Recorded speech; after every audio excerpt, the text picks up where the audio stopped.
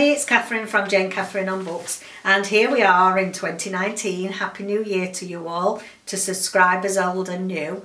And uh, I thought I'd just quickly go through my 2019 reading goals. I know it's the time of year that you're overrun with all us booktubers uh, putting out our 2019 goals. So yeah, just watch this at your leisure.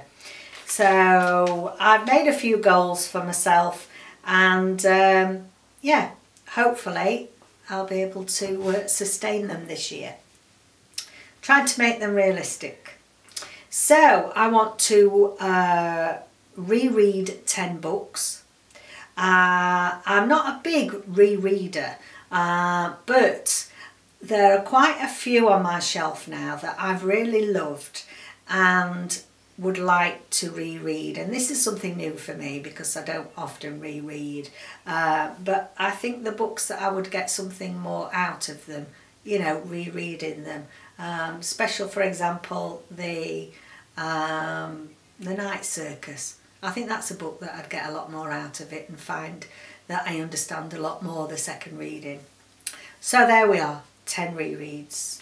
I want to continue with my five star project uh, so that is reading all the 2017 five-star books from Books and Lala and I'm enjoying that. So far I've read about six I think out of about 25, 26 something like that and uh, I'm really enjoying that. I've had one five star so far out of uh, out of that collection and that was six stories by Matt Wesolowski. That was really good, really good uh, mystery I want to read one well-being book a month so I've got a bit behind with reading my well-being and um, spiritual books so I want to concentrate more on that.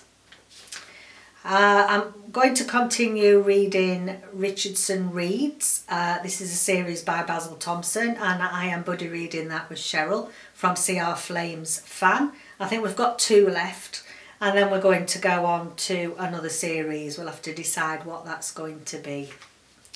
I also going to continue uh, hopefully once a month with my friend Kerry Ann from Woman vs Books.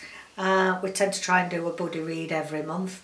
Uh, obviously it slacked off a bit before Christmas because Christmas is a busy time. So hopefully continue with that.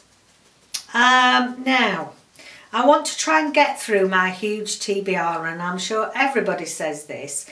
I'm not going to stop myself buying books but I want to get through the ones that are on my shelf. Um, I'm trying to read two a month from my old TBR shelves that have been there a while. Not, not ones I acquired last year particularly but ones that have been on there for quite some while. They need to be either read or, or given away really. Uh, number seven, I want to finish the Throne of Glass series. I read book one and thoroughly enjoyed it. I've got book two, so if um, if I like that as, as much, then I'm going to continue with the full series and need to crack on with that really. Next one, I want to try and get to read my NetGalley arcs earlier. Now, I don't think I go crazy in requesting um, loads and loads of books from the publishers via Net NetGalley. Um, I've certainly, towards the back end of last year, cut that down.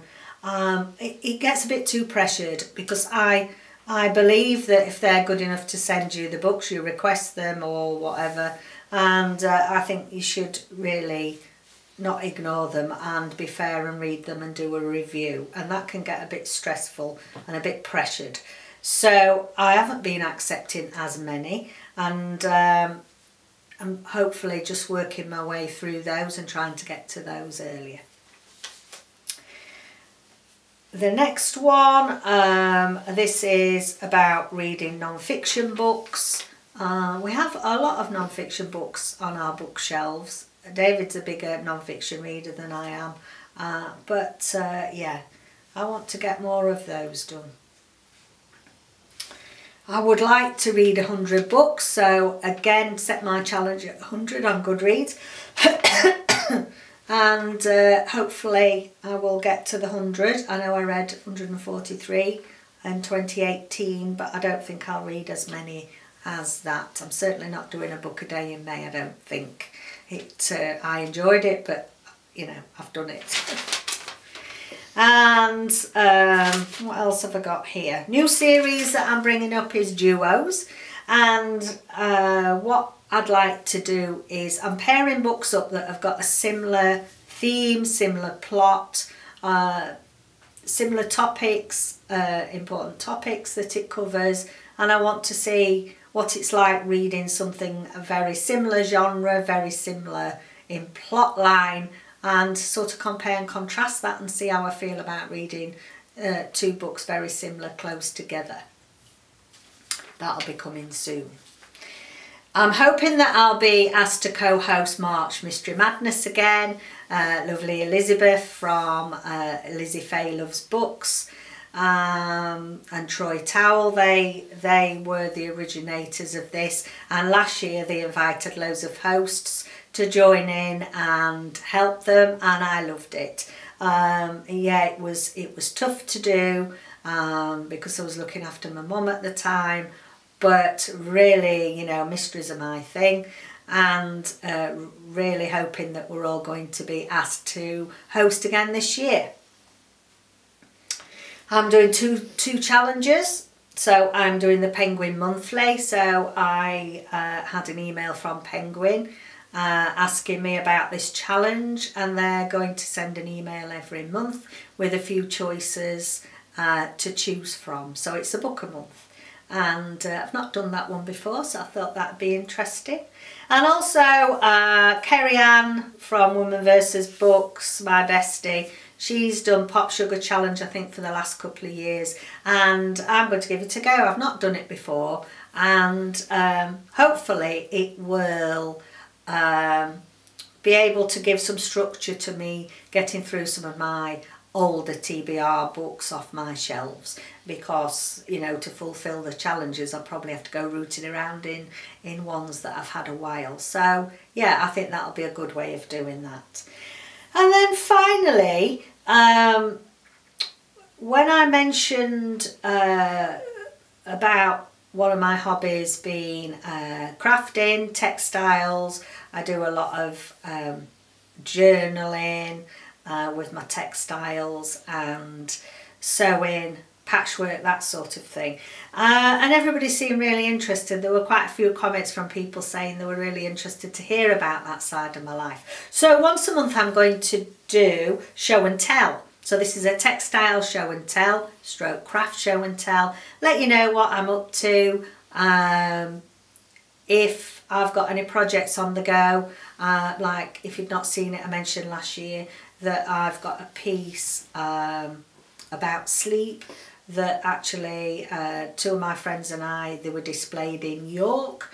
And um, year before last it started off in York and is now touring around Europe. So we need to find out actually where those uh, where those pieces have gone. We had to do our work on pillowcases that were found in the archives in York from the old York hospitals as part of this sleep programme. So that was really interesting. And uh, yes, I was quite chuffed to be uh, to be involved in that. And uh, yeah, Jayne Catherine Textiles on tour. Can you believe? Uh, so I thought we'd give that a go. Let me know what you think to that if that's something that you'll be interested in. I've recently found uh, junk journaling and I'm really enjoying that. I did some junk journals uh, with memories of my mum for my sister and my two boys and thoroughly enjoyed it and I'm, I'm getting into that as well and there's some lovely lovely people out on booktube that do junk journaling um, one lady that I found in particular is called Gayle Gayle Agostini and I hope I've said that right Gayle and uh, if you're crafty at all interested in junk journaling and uh, just want somebody to craft with every day for some company, then go ahead and check Gayle's channel out. She got me through December. She did a, a December daily um, video and uh, yeah, that got me through December, which was a tough month for me leading up to Christmas. So go and give her, you know, go and give her some love and uh, she's got loads and loads of subscribers. She, you know, she's got a, a lovely following. I think she's just reached 15,000. So yeah, I mean, if you're just bookish here and you're not interested in crafts or anything, then you know you don't have to uh, you don't have to look at that post. But I had enough uh, enough people commenting that that'd be something they'd be interested in. So there we go. I'm sure that's enough to be going on with. Um, I'm hoping very much to be able to um, fulfill those things that I've set myself for 2019. I don't think that they're unrealistic. I've tried to sort of keep them attainable really. And thank you all very much for joining me and I look forward to a wonderful 2019. Loads of lovely books to read, loads of lovely people to meet and lots of bookish fun. Bye bye for now.